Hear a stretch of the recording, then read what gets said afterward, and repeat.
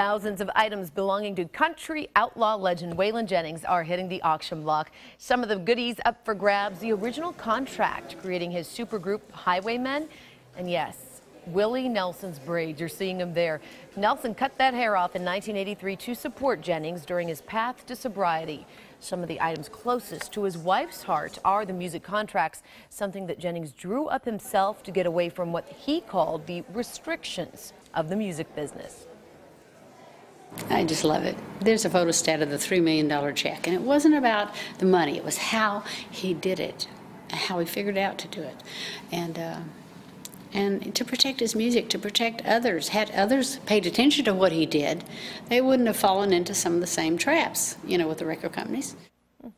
The Remembering Waylon auction gets started next month in Phoenix. You can order a catalog. We have a link on our website.